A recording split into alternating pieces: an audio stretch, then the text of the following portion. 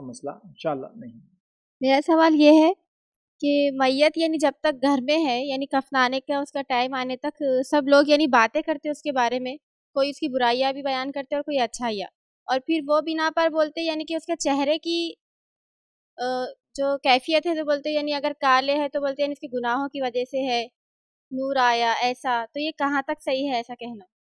देखिए सवाल है कि मैयत के ताल्लुक से बहुत सारे अखबार मतलब जैसे कि अगर उसका इंतकाल हो गया, लोग जाते हैं नहलाने के बाद, अगर चेहरा काला हो गया तो बोले गुनाहगार था या नूरानी चेहरा हो गया। तो याद रखिए, मैयत के ये ज़ाहरी अपीरेंस में कुछ भी दलील नहीं है कि वो अच्छा था या बुरा था।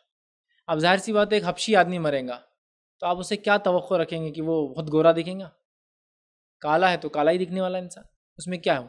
अच्छा एक्सीडेंटल केसेस है, दम घुट कर मर गया जल गया तो ज़ाहिर सी बात है वो तो चेहरा ब्लू ब्लैक मतलब वो कलर चेंज कर देती बॉडी पूरा, ठीक है? तो बहरहाल उससे कोई ज़ाहरी अलामतों से नहीं, इसलिए कि बहुत सारे सहाबा ऐसे थे जिनको सूली दे के मारा गया, बहुत सारे ऐसे जिनको गर्म तेल में डाल दिया गया, बहुत सारों को आरों से चीर दिया गया, बहुत सारों को दो जानवर बल के पैरों को बाँध के चीर दिया गया, इससे क्या आप समझ रहे उससे कुछ भी नहीं होता, याद रखिए।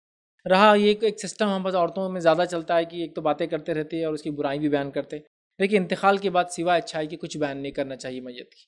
बोलना है तो अच्छा बोलो, वरना मुँह बंद रखो, यही बेटर है। लेकिन लोगों की बात समझ में नहीं आती, चूँकि हदीस में आता अल्लाह के रसूल सल्लल्लाहु अलैहि फरमाया, अपने मैयत के बारे में अच्छा कहो, इसलिए कि फरिश्ते उस पर आमीन कहते हैं। और ये भी उसकी मफफरत का ज़रिया जो है, बन सकता है। रहा मामला कि मैयत के चेहरे पर नूर आ गया, ये बात बहुत कॉमनली चलती। औरतों में नूर वाली बात चलती और मर्दों में वज़न की बात चलती। दो बातें बहुत कॉमन है। कि बहुत नूरानी चेहरा हो गया था और मर्द बोलते, जनाजा क्या हल्का था, हवा में उड़ रहा था, फरिश्ते लेके चल रहे थे। अगर वजनी होगा तो अरे, कितने वजनी थे मतलब गुनागार होंगे। अब भैया, एक कुंटल का आदमी मरा। तो जनाजा वजनी होने ही वाला है। नेचुरल है। अब आप बोलेंगे, बहुत वजनी दिख रहा तो नेचुरल है। अच्छा ज़िंदा इंसान का वेट और मुर्दा इंसान के वेट में फ़र्क होता है। ज़ाहिर से तो पूरा एक एक बच्चे को आप गोद में ले लीजिए। आपके बच्चे को। दस, पंद्रह, बीस किलो का भी तो आप उठा लेते हैं।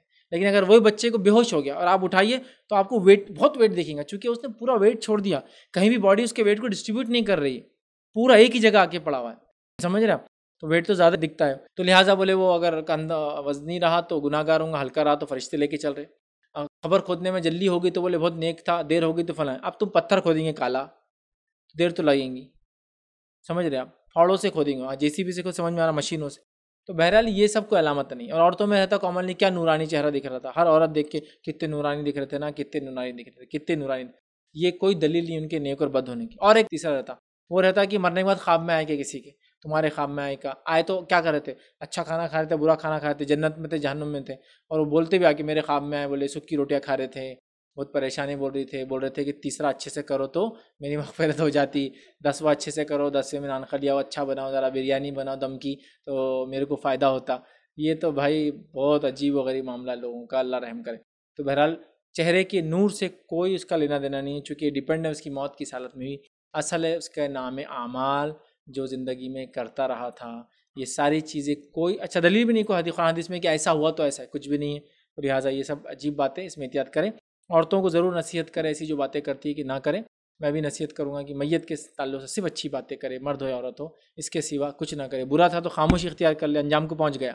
और अगर अच्छा था तो बयान कीजिए उसकी अच्छाइयाँ, या जो भी थोड़ी बहुत नेकी करता था बयान कीजिए, वो उसके लिए मुफीद साबित होती है इन